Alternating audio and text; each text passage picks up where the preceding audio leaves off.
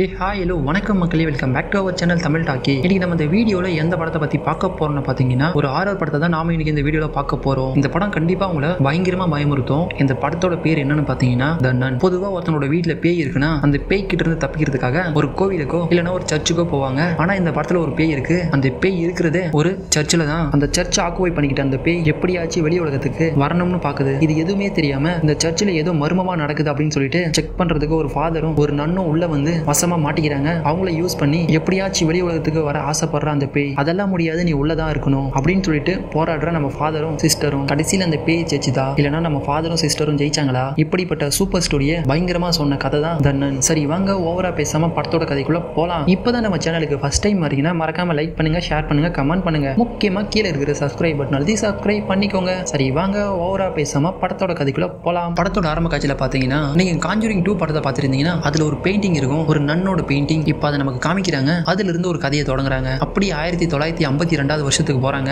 ரொமேனியால ஒரு சர்ச்சை காட்டுறாங்க. இது ஒரு சர்ச் மாதிரியே இல்ல ஒரு மாதிரி பயங்கரமாவே இருக்கு. அதுக்குள்ள ஒரு வழி மாதிரி போயிட்டு இருக்கு. அதுக்குள்ள ரெண்டு சிஸ்டர்ஸ் நடந்து போயிட்டு இருக்காங்க. கையில ஒரு சாவி மாதிரி இருக்கு. அவங்க அதை எடுத்துட்டு போறாங்க. அவங்க போற வழி எல்லாம் பயங்கரமா சிலுவைகள் எல்லாம் கட்டி வச்சிருக்காங்க. அந்த டோர் கிட்ட போறாங்க. அதுல ஒரு வசனம் எழுதிருக்கு அதுக்கு என்ன மீனிங்னா காட் இன்சியர் இதுக்கப்புறமா கடவுளே வந்தாலும் வேலைக்கு ஆகாது அப்படின்னு போட்டிருக்கு. இதுக்குள்ள போயே ஆகணுமா அப்படின்னு சொல்லிட்டு அதுக்கு கூட வந்த இன்னொரு சிஸ்டர் வேற வழியே இல்ல. நம்ம போயே ஆகணும் அப்படின்னு சொல்லிட்டு அந்த சாவியை எடுத்துட்டு ஒருத்தவங்க மட்டும் உள்ள போறாங்க. இப்ப வெளியே இருக்கிறவங்க பயங்கரமா ப்ரே பண்ணிட்டு இருக்காங்க. அவங்க கண்ணுல ஒரு மரண பயம் தெரியுது. திடீர்னு அந்த இருட்டுக்குள்ள போன சிஸ்டர் ரத்த கலரியா வெளியே வந்து விழுறாங்க. அப்படியே அந்த கீயை தூக்கி போடுறாங்க. இதை எடுத்துன்னு முதல்ல ஓடு. இந்த பேய்க்கு வந்து ஒரு ஆன்மா தேவைப்படுது. இந்த சர்ச்சை விட்டு வெளியே போறதுக்கு இது நடக்காம நீ தான் பாத்துக்கணும் அப்படின்றத சொல்லிட்டே இருக்கும்போது டக்குன்னு அந்த சிஸ்டரை அப்படியே உள்ள எடுத்துட்டு போறாங்க. இந்த நண்டு இருக்காங்கல்ல இவங்க பயந்துட்டு வெளியே ஓடி வராங்க. வந்து கதவும் சாத்திக்கிறாங்க. இப்ப அப்படியே பாக்குறாங்க. பொறுமையா இன்னொரு டோர் ஓப்பன் ஆகுது. அதுக்குள்ள ஏதோ இருக்கிற மாதிரி இருக்கு. வேக வேகமா ஓடி வராங்க. ஒரு கையில சாவி இன்னொரு கையில தூக்க கயிறு. அப்படியே திரும்பி பாக்குறாங்க. அந்த இருட்டுக்குள்ள இருந்து ஒரு உருவம் அப்படியே இவங்களை நோக்கி வருது. கடவுளே என்ன மன்னிச்சிருங்க அப்படின்னு சொல்லிட்டு தூக்கு மாட்டிக்கிட்டு அங்கிருந்து குதிச்சிடுறாங்க. இப்ப அந்த விண்டோல காட்டுறாங்க. அந்த பேயோட உருவம் அப்படியே வந்து பாக்குது. அங்க சீன் கட் பண்ணி அப்படியே பார்த்தா காட்டுக்குள்ள ஒரு ஆளை காட்டுறாங்க. அவர் வந்து ஒரு தள்ளு வண்டியில காய்கறி எல்லாம் எடுத்துட்டு வந்து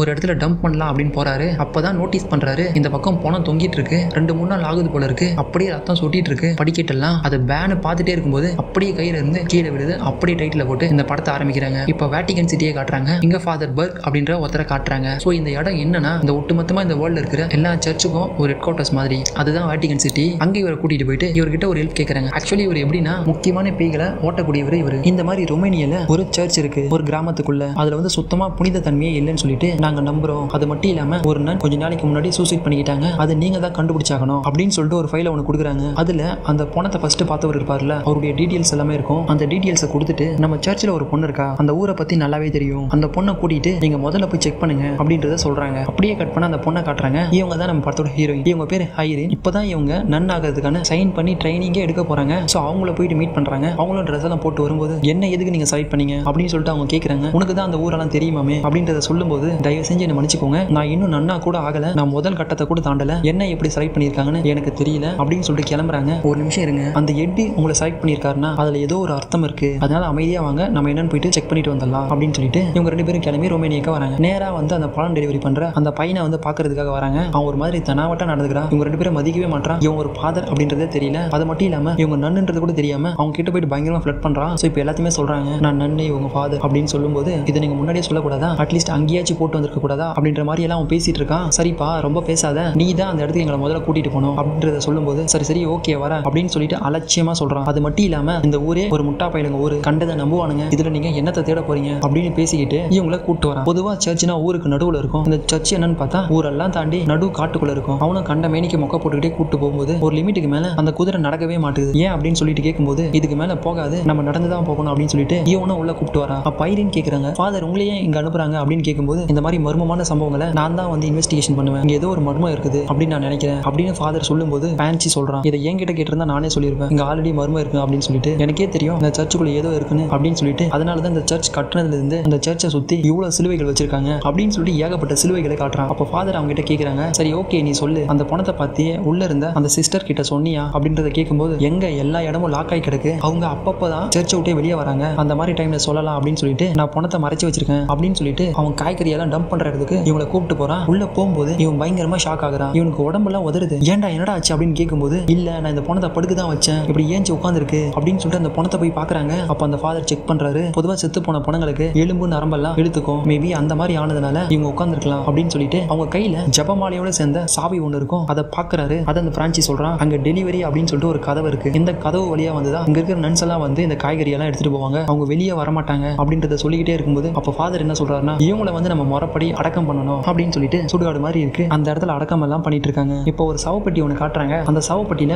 மணி அடிக்கிற மாதிரி ஒரு ரோப் ஒன்று உள்ள போகுது. இப்போ அந்த ஃபாதர் வந்து அதுக்கு என்ன அர்த்தம் சொல்லிட்டு எக்ஸ்பிளைன் பண்றாரு. இந்த பிளேக்கு இந்த மாதிரி கொடுமையான நோய்கள் எல்லாம் வந்தப்போ யார் செத்தாங்க யார் சாகலன்னு கூட தெரியாம எடுத்துட்டு வந்து புதைச்சிருவாங்களா இன் கேஸ் யாராச்சும் உயிரோட இருந்தாங்கன்னா ஸோ இந்த பெல் அடிப்பாங்க. ஸோ அதுக்காக தான் இந்த பெல் செட் பண்ணி வச்சிருக்காங்க அப்படின்றத சொல்றாரு. இப்போ அந்த நன்னோட பணம் தொங்கிட்டு இருந்துச்சுல அந்த இடத்துக்கு கூட்டிட்டு போய் காட்டுறான். அந்த இடத்துல ரத்தம் வந்து இத்தனை நாள் ஆகியும். அந்த இடத்துல பாத்தீங்கன்னா ரத்தம் இத்தனை நாள் ஆகியும். இன்னும் ரத்தம் உடஞ்சு போலியே அப்படின்னு சொல்லிட்டு ஷாக் ஆகுறாங்க. நான் தான் சொன்னேன்ல இந்த இடத்துல ஏதோ ஒன்று இருக்கு அப்படின்னு சொல்லிட்டு அப்படின்னு அந்த பிரான்சி சொல்றான். ஸோ கதவு ஓப்பன் பண்ணிட்டு உள்ள போறாங்க. உள்ள கேண்டில் எல்லாம் எரிஞ்சிட்டு இருக்கு. எல்லாரும் இருக்கிற மாதிரி தான் இருக்காங்க. யாரும் இல்லையே அப்படின்னு சொல்லிட்டு அங்கிட்டு இங்கிட்டு தேடிட்டு இருக்கும்போது இப்போ ஐரின் பார்த்துட்டு பயந்துடுறாங்க. ஒரு சேர் மாதிரி இருக்கு. அந்த இடத்துல ஒரு உருவம் உட்காந்துட்டு இருக்கு. அது வேற யாரும் கிடையாது. அந்த சர்ச்சுக்குன்னு சொல்லிட்டு ஒரு ஹெட் ஆஃப் த நன் இருப்பாங்கல்ல அவங்க ஃபாதர் அவங்க ரெண்டு பேரை பற்றியும் இன்ட்ரோ கொடுக்குறாரு. அப்போ கரெக்டாக அவங்க சொல்லிடுறாங்க. நீ இன்னும் வந்து நன்னே ஆகல. நீ முதல் ஸ்டெப்பை கூட கிராஸ் பண்ணல தானே? அப்படின்றத சொல்றாங்க அவங்க. அப்படின்றத சொல்றாங்க அவங்க. அப்போ இந்த ஃபாதர் கேட்குறாங்க இந்த சர்ச்சில் ஒரு மர்மமான சாவு நடந்திருக்கு. அதனால நான் அதை இன்வெஸ்டிகேஷன் பண்றதுக்காக வந்திருக்கேன் அப்படின்னு சொல்லும்போது என்னது இந்த இடத்துல இறப்பா? இந்த மாதிரி பொறுமையா பேய் எல்லாம் பேசும் தெரியுமா? அந்த மாதிரி ஒரு வாய்ஸ்ல அவங்க சொல்றாங்க. இங்க பாருங்க இங்க ஒரு சாவு நடந்திருக்கு. அதுக்கான ப்ரூஃபையும் நாங்க பார்த்துட்டோம். நாங்க இங்க இருக்கிற சிஸ்டர் கிட்ட பேசி ஆகணும். ஏன்னா நான் ரோம்ல இருந்து வரேன். நாங்க போயிட்டு ரிப்போர்ட் பண்ணாதான் இந்த கேஸ் க்ளோஸ் ஆகும். இல்லைன்னா வேற ஒருத்தவங்க வருவாங்க. அவங்க இந்த மாதிரி நடந்துக்க மாட்டாங்க. பார்த்து இருந்துக்கோங்க அப்படின்னு ஃபாதர் சொல்லும்போது ஓ அப்படி போதா கதை?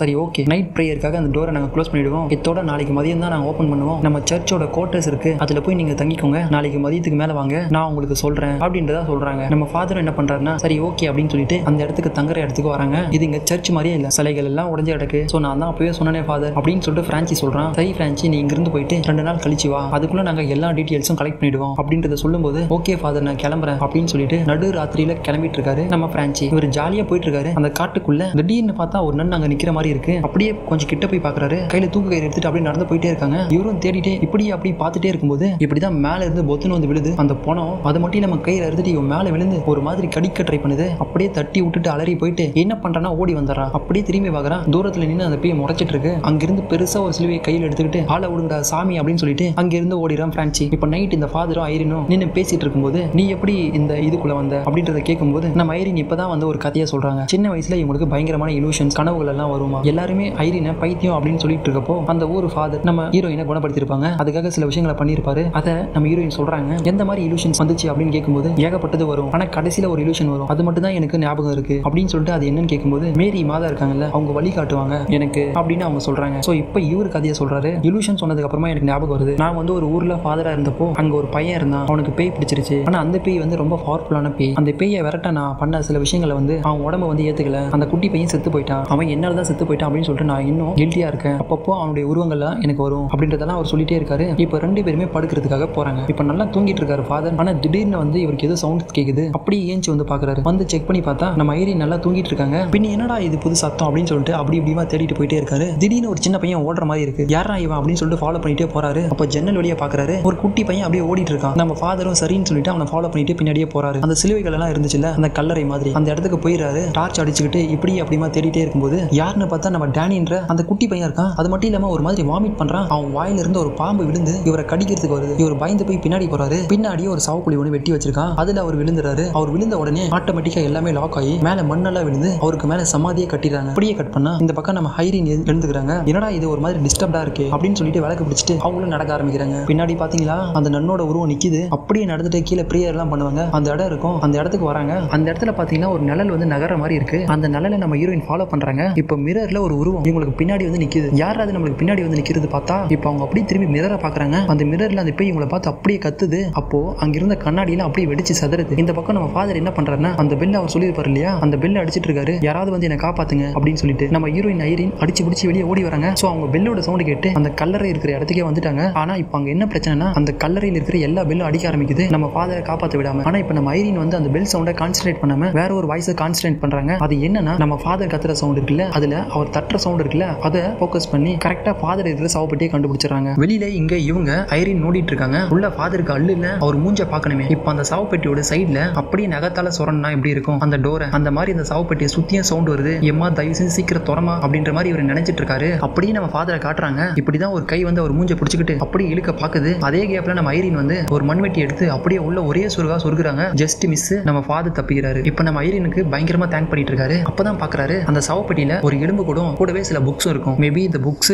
நமக்கு சில விஷயங்களை சொல்லலாம் அப்படின்னு சொல்லிட்டு அந்த புக் எடுத்துட்டு அடுத்த நாள் வந்து அந்த மதர் சுப்பீரியரை பாக்குறதுக்காக போறாரு. அங்க போய் பார்த்தா அந்த பணம் தொங்கிட்டு இருந்த இடத்துல ரத்தக்காரம் இருக்கும் தெரியுமா? அது இன்னும் அதிகமா இருக்கு சரி உள்ள போலாம் அப்படின்னு சொல்லிட்டு உள்ள போறாங்க. அங்க ஒரு டோர் மாதிரி இருக்கு. அங்க போய் கத்துறாங்க சுப்ரியர் கதவை தொடங்க நாங்க வந்துட்டோம் அப்படின்னு சொல்லிட்டு. சோ அந்த டோர் ஆட்டோமேட்டிக்கா ஓப்பன் ஆகுது. அப்ப அந்த ஃபாதர் என்ன சொல்றாருன்னா அங்க பாரு சாகும்போது கூட அவங்க இந்த கீயை கையில வச்சு தான் இறந்து போயிருக்காங்க. சோ இதுல ஏதோ ஒரு இம்பார்ட்டன்ஸ் இருக்கு. சோ இதை நீ கையில வச்சுக்கோ. உள்ள போயிட்டு ஒரு சிஸ்டரை விடாத. அங்க இருக்கிற எல்லாரையுமே விசாரி அப்படின்றத சொல்லி உள்ள அனுப்புறாரு. இப்ப நம்ம ஐரினும் உள்ள போறாங்க. இப்ப நம்ம ஃபாதர் வந்து உள்ள புக்கெல்லாம் வச்சுட்டு எக்ஸாமின் பண்ணிட்டு இருக்காரு. அதுல ஏகப்பட்ட சாத்தான்களோட உருவ படங்கள் அதோட பேர்களா இருக்கு. அது- அதுல ஒரு பேர் வேலக் அப்படின்றது இருக்கு. அதை பார்த்து படிச்சுட்டே இருக்கும்போது ஒரு மாதிரி சவுண்ட் எல்லாம் வந்து இப்போ ஒரு டோர் ஒன்று இருக்கும் பாத்தீங்களா? அது ஆட்டோமேட்டிக்கா க்ளோஸ் ஆகுது. இவரும் பயங்கரமா கத்துறாரு. நம்ம ஹீரோயின் பேரை சொல்லி ஐரின் ஐரின் அப்படின்னு சொல்லிட்டு. ஆனா ஒன்னும் வேலைக்காகல இங்க அப்படியே கட் பண்ணி இந்த பக்கம் நம்ம ஹீரோ பிரான்சியை காட்டுறாங்க. அங்கிருந்து பேய்கிட்டு இருந்து தப்பிச்சு வந்து செம்ம பயத்துல குடிச்சிட்டு இருக்கான். அப்பதான் அங்க ஒருத்தவங்க சொல்றாங்க. இந்த மாதிரி நம்ம கிராமத்துல வந்து ஒரு சின்ன பொண்ணு தூக்கு மாட்டே இறந்துட்டா அப்படின்னு சொல்லிட்டு சின்ன பொண்ணு அவ எப்படி இறந்தா? அப்படின்னு கேட்கும்போது இந்த மாதிரி இந்த கிராமத்துல இந்த மாதிரி விஷயங்கள் நிறைய நடக்கும்பா. இப்போ கூட நீ ரெண்டு பேரும் கூப்பிட்டு போய் விட்டுருக்கல. கண்டிப்பா ரெண்டு நாள் அவங்களும் செத்து போயிடுவாங்கப்பா. அப்படின்றத சொல்லும்போது அப்படியே மியூசிக் ரைஸ் அப் அப்படியே பிரான்சியை காட்டுறாங்க. இப்போ இந்த பக்கம் உள்ள பொண்ணை நம்ம ஐரினை காட்டுறாங்க. அந்த சர்ச்சுக்குள்ள யாருமே இல்ல. எங்கிட்ட அங்கிட்டுமா சுத்திட்டு இருக்காங்க. யாரோ அப்பப்போ நடந்து போற மாதிரி இருக்கு. நம்ம ஹீரோயினை அப்படியே ஃபாலோ பண்ணிட்டே போறாங்க. ஸோ அந்த சர்ச்சோட மெயின் ஆள் மாதிரி இருக்கும். அங்க எல்லாருமே போய் ப்ரே பண்ற இடம். ஸோ அந்த இடத்துக்கு போறாங்க. ஒரு சிஸ்டர் ரொம்ப நேரமா ப்ரே பண்ணிட்டு இருக்காங்க. அவங்க நிறுத்துற மாதிரியே இல்ல. ஸோ இங்க என்ன நடக்குது அப்படின்னு தெரிஞ்சிருக்காங்க கிட்ட தொடலான்னு போறாங்க. டக்குன்னு பின்னாடியில இருந்து ஒரு நன் வராங்க. அவங்கள தொடாதீங்க டிஸ்டர்ப் பண்ணாதீங்க அப்படின்னு சொல்லும்போது இந்த திருச்சாவில வந்து ஒரு நிமிஷம் கூட ப்ரே நிக்கவே கூடாது. அதனால தான் ஷிஃப்ட் போட்டு ஒருத்தவங்க ப்ரே பண்ணிட்டே இருப்பாங்க. அதுக்கப்புறம் இன்னொருத்தவங்க வந்து ப்ரே பண்ண ஆரம்பிச்சதும் இவங்க ரிலீவ் ஆகுவாங்க அப்படின்றத சொல்லுவாங்க. நீங்க வருவீங்கன்னு சொல்லியிருந்தாங்க. வாங்க அப்படின்னு சொல்லிட்டு உள்ள கூப்பிட்டு போறாங்க. இப்போ நம்ம ஐரின் கிட்ட சில விஷயங்கள் சொல்றாங்க. அந்த விக்டோரியா சிஸ்டர் இறந்ததுல இருந்து அந்த எல்லா விஷயத்தையும் சொல்லிட்டே இருக்கும்போது ஐரின் பேடி இருக்கிற டோர் ஆட்டோமேட்டிக்கா ஓப்பன் ஆகுது. இவங்க வந்து க்ளோஸ் பண்றாங்க. இப்போ மறுபடியும் ஓப்பன் ஆகுது. இப்போ இந்த சிஸ்டர் என்ன சொல்றாங்கன்னா இவங்க பெரிய வியானா. நான் இங்க நடந்துகிட்டு இருக்க விஷயங்கள் உங்ககிட்ட சொல்றது யாருக்கோ பிடிக்கலன்னு நினைக்கிறேன். அப்படின்றது அவங்க சொல்லிட்டே இருக்கும்போது இவங்க ஒரு மாதிரி ஆகுறாங்க சரி ஓகே. இந்த சர்ச்சை பத்தி கொஞ்சம் வரலாறு சொல்லுங்க அப்படின்றத சொல்லும்போது ரொம்ப காலகட்டத்துக்கு முன்னாடி பல நூறு வருஷங்களுக்கு முன்னாடி இந்த சர்ச் வந்து ஒரு ராஜாவால ஓபன் பண்ணப்பட்டிருக்கு. ஆனா அவர் சர்ச்சை சர்ச்சா யூஸ் பண்ணாம அவர் என்ன பண்ணியிருக்காருன்னா நரகத்துல இருந்து சில சாத்தான்களை இந்த பூமிக்கு கொண்டு வர சில சடங்குகள் எல்லாம் பண்ணியிருக்காரு. நரபலி கொடுத்து அவர் வேலக் அப்படின்ற ஒரு கொடுமையான சாத்தான ஒரு கொடுமையான சாத்தான கிட்டத்தட்ட இந்த உலகத்துக்கு கொண்டு வந்துட்டாரு. ஆனா அதுக்குள்ள இந்த சர்ச்சில் இருக்க ஹெட்டெல்லாம் இருக்காங்க தெரியுமா? அந்த ராஜாவை தடுத்து அந்த சாத்தான் வந்த வழியை ஜீசஸோட புனித ரத்தத்தால மூடி இருப்பாங்க அதுக்கப்புறமா தான் அங்கிருந்து எந்த ஒரு ஆவியும் வெளியே வந்துடக்கூடாதுன்னு இருபத்தி நாலு மணி நேரமா இந்த சர்ச்சில் ப்ரேயர் நடந்துட்டே இருக்கும். ஆனால் இந்த நாட்டில் போர் நடக்கும்போது மேல இருந்து வெடிகுண்டுகள்லாம் போட்டாங்க. அந்த அதிர்வில் அந்த டோர் இங்கே ஓப்பன் ஆயிட்டு இருக்குன்னு நினைக்கிறேன். அப்படின்றதெல்லாம் இவங்க சொல்லிட்டே இருக்கும்போது இப்போதான் நம்ம ஹீரோயின் கேட்குறாங்க நான் வந்து இங்கே ஒரு சிஸ்டரை பார்த்தேன். அவங்க ரொம்ப கொடூரமா இருந்தாங்க. அப்படின்னு போது உங்களுக்கு தூக்கி வாரி போடுது. நீங்களும் பாக்குறீங்களா? சில பேர் நாங்கள் அவங்கள ராத்திரியில பார்த்துருக்கோம். நீங்க சொல்கிறத பார்த்தா அந்த பேர் ரிலீஸ் ஆயிடுச்சுன்னு நினைக்கிறேன். அதுதான் எங்களுடைய ப்ரேயர்லாம் எல்லாம் தடுக்க பாக்குது. அப்படின்னு அப்படி இப்படின்னு சொல்லிட்டு அந்த கதையை ஐப்பா எடுத்துட்டு போறாங்க. டக்குன்னு பின்னாடி இருக்கிற டோர் ஓப்பன் ஆகுது. அந்த இடத்துல இன்னொரு சிஸ்டர் வராங்க. நீங்க ப்ரே பண்றதுக்கு டைம் வந்துடுச்சு. முதல்ல இங்கிருந்து போங்க அப்படின்னு சொல்லிட்டு நம்ம ஐரினை பார்த்து நீங்க இன்னும் சிஸ்டரே ஆகல. முதல்ல சும்மா இதெல்லாம் தெரிஞ்சுக்கணும்னு ஆசைப்படாதீங்க. முதல்ல இங்கிருந்து கிளம்புங்க அப்படின்றத சொல்லும்போது இந்த வியானா என்ன சொல்றாங்கன்னா இல்ல டோர் எல்லாம் மூடிடுச்சு. பிரேயருக்காக நாளைக்கு மதியானம் தான் திறக்கும். அது வரைக்கும் இவங்க இங்க தங்கி தான் ஆகணும். அப்படின்னு சொல்லிட்டு இவங்களுக்கு ஒரு ரூமை கொடுக்குறாங்க. அந்த வியானா அப்ப நம்ம ஐரின் கேக்குறாங்க இந்த கீயை பத்தி உங்களுக்கு ஏதாச்சும் தெரியுமா? அப்படின்னு சொல்லிட்டு. இப்ப அந்த வியானா மூஞ்ச காட்டுறாங்க. ஒரு மாதிரி தெரிஞ்ச மாதிரி தான் இருக்கு. ஆனா எனக்கு எதுவும் தெரியாது அப்படின்னு சொல்லிட்டு கதவை மூடிட்டு போயிடுறாங்க. இந்த பக்கம் நம்ம ஃபாதர் எப்படியாச்சும் உள்ள போய் ஆகணும். ஐரினை காப்பாத்தி ஆகணும். அப்படின்னு சொல்லிட்டு அங்க இருக்கிற மேப் எல்லாம் நோட்ட விட்டுட்டு இருக்காரு. ப்ளூ பிரிண்ட்ஸ் எல்லாம். எப்படியாச்சும் உள்ள போலாமா? அப்படின்னு சொல்லிட்டு அதெல்லாம் உன்னால போகவே முடியாது. அப்படின்னு சொல்லிட்டு ஒரு உருவம் வருது. என்னன்னு பார்த்தா அந்த மதர் சூப்பரியர் உட்காந்துருப்பாங்கல்ல அவங்க நீ நேரத்தை வேஸ்ட் பண்ணிட்டு இருக்க அப்படின்னு சொல்லும்போது இல்ல இங்க ஏதோ ஒரு பயங்கரமான சக்தி இருக்கு. இந்த சாவியை பாத்தீங்களா இதை வந்து விக்டோரியா கையிலே வச்சிருந்தாங்க. என்ன இது? அப்படின்னு கேட்டுட்டே இருக்கும்போது அவங்க இன்னும் என்ன சொல்றாங்கன்னா முதல்ல நீ டைமை வேஸ்ட் பண்ணிட்டு இருக்க. உன்னால முடிஞ்சா ஐரினை காப்பாத்திக்கோ அப்படின்னு சொல்லிட்டு அமைதியாயிடுறாங்க. என்னடா இவங்க இப்படி சொல்றாங்க? அப்படின்னு சொல்லிட்டு அவரும் பொறுமையா கிட்ட போறாரு. டக்குன்னு ஒரு கை வந்து இவர் கையை பிடிக்குது. அந்த கையை பாக்குறாரு. அந்த கை பாக்குறதே இறந்து போய் ரொம்ப நாள் ஆயிருக்கும் போல ஒரு மாதிரி சதஞ்சு போயிருக்கு. ஆக்சுவலி ஒரு நாள் பேசிட்டு இருந்தது ஒரு பணம். அப்படியே நம்ம ஐரினை காட்டுறாங்க. அவங்களுடைய கனவுல அந்த வேலைக்கு பேய் வருது. அடிச்சு பிடிச்சி இருந்துக்கிறாங்க. பார்த்தா அவங்களுடைய ரூம்ல ஒரு நன் உட்காந்துருக்காங்க பயங்கரமான சவுண்டு ஏதோ ப்ரே பண்ணிட்டு இருக்க மாதிரி இருக்கு. டக்குன்னு பாக்குறாங்க. அந்த இடத்துல அவங்கள காணும். திடீர்னு பார்த்தா இவங்க ரூமோட பால்கனில இருந்து ஒருத்தவங்க குதிக்கிறாங்க. அப்படியே தூக்கு போட்டுக்கிட்டு. இப்ப அப்படியே நம்ம ஐரின் பின்னாடி காட்டுறாங்க. அந்த வேலைக்கு போய் வந்துட்டு இருக்கு. இப்ப நான் இங்க யாரையோ பார்த்த மாதிரி இருக்கேன் அப்படின்னு சொல்லிட்டு அப்படின்னு ஃபாலோ பண்ணிக்கிட்டு பின்னாடியே போறாங்க. அந்த வழி எங்க போகுதுன்னா படத்தோட ஆரம்ப காட்சியில ரெண்டு நன் வந்து ஓடி வந்திருப்பாங்க பாத்தீங்களா? ஒரு முட்டு சந்த மாதிரி. அதுக்குள்ள வராங்க. அதுக்குள்ள அப்படியே பொறுமையா வராங்க. அந்த டோர்ல இருக்கிற லெட்டர்ஸையும் பாக்குறாங்க. இப்ப அந்த பொறுமையா அந்த டோர் ஓப்பன் ஆகுது. உள்ள பார்த்தா அந்த வேலைக்கு பேய் அப்படியே பொறுமையா பாக்குது. நம்ம ஹீரோயினை இதை பார்த்துட்டு ஒரு மாதிரி ஆயிடுறாங்க. இவங்களால நடக்கவே முடியல. அப்படியே அங்கிருந்து ஓடி தப்பிக்கலாம் ட்ரை பண்ணும்போது நம்ம ஹீரோயின் அப்படியே உள்ள இழுக்குது. இவங்களால கண்ட்ரோலே பண்ண முடியாம கடைசியில கையை விட்டுறாங்க. அப்படியே அவங்க பறந்து உள்ள போற மாதிரி இருக்கு. டக்குன்னு இவங்க கையில வந்து அந்த கை அந்த கீ இருக்கிற ஜபமால மாட்டுது. அப்படியே அந்த டோர் க்ளோஸ் ஆகுது. அப்பாடா தப்பிச்சோண்டா அப்படின்னு சொல்லிட்டு பார்க்கும்போது பின்னாடி இருந்து ஒரு கை வந்து அவங்கள அப்படியே பிடிக்க பாக்குது அப்படியே ஓடுறாங்க. திடீர்னு ஒரு கை வந்து அவங்களுடைய வாயை பிடிச்சி அமைக்கிட்டு உள்ள இழுக்குது. யாருன்னு பார்த்தா அந்த சிஸ்டர் வேணாம் தயவு செஞ்சு கத்தாதீங்க. இதை எதிர்க்கணும்னா நம்ம பிரேயர் தான் பண்ணியாகணும். அந்த பிரேயர் ஹாலில் எல்லாரும் பிரேயர் பண்ணிட்டு இருக்காங்க. அதுல போய் ஜாயின் பண்ணுங்க அப்படின்றத சொல்றாங்க. இவங்களும் அடிச்சு பிடிச்சி அந்த பிரேயர் ஹாலுக்கு போறாங்க. அங்க ஒரே ஒரு நன் மட்டும் பயங்கரமா ப்ரே பண்ணிட்டு இருக்காங்க அவங்க கண்ணுல இருந்து தண்ணி மாலை மாலையா ஊத்துது. அங்க யாரோ ஒரு பணம் கிடக்குற மாதிரி இருக்கு. யாருன்னு ஓபன் பண்ணி பார்த்தா அந்த சிஸ்டர் வியானா இப்ப கொஞ்ச நேரத்துக்கு முன்னாடி பேசினவங்க இப்ப ஐரியனுக்கு ஒரு மாதிரி பயமாயிடுது. டக்குன்னு டோர் ஓபன் பண்ணிட்டு அந்த இடத்துல ஏகப்பட்ட நன்ஸ் வராங்க. அந்த பேய் எதிர்த்து இப்ப ப்ரே பண்ணி ஆகணும்ல? எல்லாரும் முட்டி போட்டு ப்ரே பண்ண ஆரம்பிக்கிறாங்க. டக்குன்னு நம்ம ஐரியனும் முட்டி போடுறாங்க ப்ரே பண்ண ஆரம்பிக்கிறாங்க. இப்ப அந்த இடமே ஒரு மாதிரி அதிருது. சிலையெல்லாம் உடைய ஆரம்பிக்குது. இப்ப அங்க ப்ரே பண்ணிட்டு இருக்கிற எல்லா நன்னுமே அப்படியே தூக்கி அடிக்குது. பாதி பேர் திருச்சி செத்துடுறாங்க. இப்ப நம்ம ஹீரோயின் விடுற மாதிரி இல்ல. அவங்க மட்டும் இப்ப தனியா ப்ரே பண்ணிட்டு இருக்காங்க இது அப்படியே கட் பண்ணா இந்த பக்கம் நம்ம ஃபாதரை காட்டுறாங்க. அவர் அங்கிருந்து எப்படியாச்சும் உள்ள போலாமா அப்படின்னு சொல்லிட்டு வழியை தேடிட்டு இருக்கும்போது டக்குன்னு அந்த டேனியலோட உருவம் இவருடைய கண்ணுக்கு தெரியுது. டேனியல் நீயா? என்ன மன்னிச்சுக்கோ. ரொம்ப சாரி இது மாதிரி எல்லாம் பேசிட்டு இருக்கும்போது டக்குன்னு அந்த பையன் என்ன பண்றானா எங்கேயே அவரை பிடிச்சி ஒரு மாதிரி சாப்பிட்ற மாதிரி பண்றான். அவனை பிடிச்சி தள்ளி விட்டுட்டு கீழே பாக்குறாரு. அப்பதான் இவருக்கு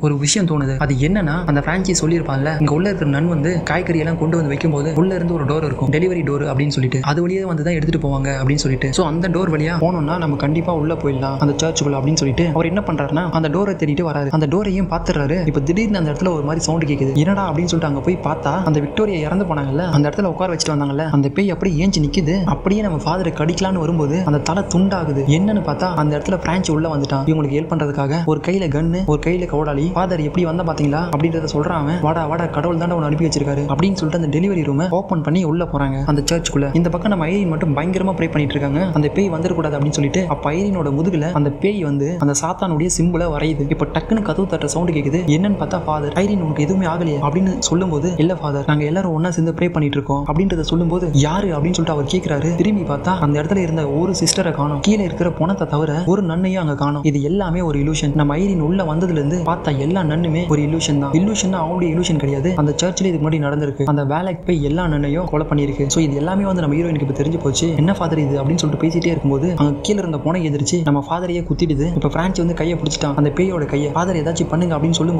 டக்குன்னு ஃபாதர் என்ன சொல்றாருன்னா நம்ம ஹீரோயின் கிட்ட சொல்றாரு அந்த சிலுவையை எடு அதை அந்த புனி தண்ணியில முக்கி எங்கிட்ட கூட அப்படின்னு சொல்லும்போது நம்ம ஹீரோயின் கொடுக்குறாங்க தலையில கையை வச்சு மந்திரம் எல்லாம் சொல்லி அப்படியே எரிஞ்சு போ அப்படின்றத சொல்றாரு. அப்படியே அந்த பேய் எரிஞ்சு இப்படி அப்படியே ஆடிட்டு இருக்கும் அந்த பிரான்சி சுட்டு அதை காலி பண்றாரு. இப்பதான் அவங்க எல்லாருமே புரியுது. ஸோ இப்போ இந்த ஆவி வெளியே வரதுக்கு ஒரு ஆன்மா தேவைப்படுது. அதனால தான் அந்த விக்டோரியா வந்து அவங்களுடைய உயிரியை சாக்ரிஃபைஸ் பண்ணியிருக்காங்க அப்படின்ற மாதிரி எல்லாம் பேசிட்டு இப்போ பிரான்சி சொல்றான். எப்படியோ நீங்க வந்த வேலை முடிஞ்சிச்சு இல்ல முதல்ல நீங்க இங்க இருந்து கிளம்புங்க அப்படின்னு சொல்லும்போது நம்ம ஹீரோயின் சொல்றாங்க. அதெல்லாம் ஒண்ணும் முடியல. இந்த பேயை வந்து நம்ம அடியோட அழிக்கணும் அப்படின்றத சொல்லிட்டு ஒரு பிளான் போடுறாங்க. அந்த சாத்தன் ஒரு கேட் நான் எங்க இருக்குன்னு பார்த்துட்டேன். அது இந்த அண்டர் கிரவுண்ட்ல இருக்கு. ஆனா அதை க்ளோஸ் பண்றதுக்கு நமக்கு அந்த புனித ரத்தம் வேணும் அப்படின்றத சொல்றாங்க. அது எங்க இருந்து தேடி போறது அப்படின்றத பிரான்சி கேட்கறான் அப்ப நம்ம ஹீரோயின் வந்து அந்த சாவையை காட்டுறாங்க. இதுதான் அதோட க்ளூ அது எங்க இருக்கு அப்படின்னு சொல்லிட்டு நம்ம கண்டுபிடிக்கணும் அப்படின்னு சொல்லும்போது முதல்ல தேடலாம் அப்படின்னு சொல்றாரு. அப்ப நம்ம ஹீரோயின் சொல்றாங்க அதுக்கும் முன்னாடி என்ன ஒரு நன்னா வந்து நீங்க மாத்தணும். நான் எந்த ஒரு உறுதிமொழியும் எடுக்கல. நான் ஒரு சாதாரண மனுஷியா இருக்கேன். நான் கடவுளுக்கு என்ன அர்ப்பணிச்சு ஆகணும். அப்படின்னு சொல்லிட்டு ஃபாதர் நீங்க முதல்ல நீங்க அதை பண்ணணும். அப்படின்றத சொல்லும்போது ஓகே அதை உடனே பண்ணலாம். அப்படின்னு சொல்லிட்டு அந்த சடங்குகள் எல்லாமே பண்ணிட்டு இருக்காங்க. இப்போ பவர் எல்லாம் பூஸ்ட் அப் பண்ணிட்டு இப்போ அந்த சாவி எடுத்துட்டு போறாங்க. அங்க போய் பார்த்தா எதுவுமே கண்டுபிடிக்க முடியல. பயங்கரமா வெக்ஸ் ஆயிடுறாங்க. ஐரின் இப்பதான் ஃபாதர் சொல்றாரு நீ வெக்ஸ் ஆகிறதுக்கு வழியே இல்ல. நீ எனக்கு ஒன்று சொன்ன ஞாபகம் இருக்கா? உனக்கு ஒரு இலூஷன்ஸ் வரும். அதுல கடைசியா என்ன வரும்? அப்படின்னு கேட்கும்போது இந்த மாதிரி மேரி மாதா வழி காட்டுவாங்க. அப்படின்னு சொல்லிட்டு அப்பா அங்க ஒரு ஸ்டாச்சு இருக்கு. அதை காட்டுறாரு. அதுல மாதாவோட விரல்ல ஒரு சூரிய ஒளி பட்டு அது ஒரு இடத்துல ரிஃப்ளெக்ட் ஆகுது. அது எங்கன்னு போயிட்டு செக் பண்ணி பார்த்தா அங்க இருக்கிற செவத்துல ஒரு சாவி போற மாதிரி ஒரு ஹோல் இருக்கு. சோ அதுல நம்ம ஹீரோயின் சாவி போட்டு ஓபன் பண்றாங்க. ஓபன் பண்ணா அதுல ஜீசஸோட புனித ரத்தம் இருக்கு. ஒரு பால் மாதிரி இருக்கு. அதை ஃபாதர் எடுத்துட்டு இப்போதைக்கு நீதான் புனிதமா இருக்க இது நீயே போட்டு அப்படின்னு சொல்லிட்டு அவரோட கழுத்துல போட்டு விடுறாரு. இப்ப வாங்கடா அப்படின்னு சொல்லிட்டு அந்த கேட் இருக்கிற இடத்துக்கு போறாங்க. சோ இப்போ உள்ள போகும்போது எல்லாரும் வந்து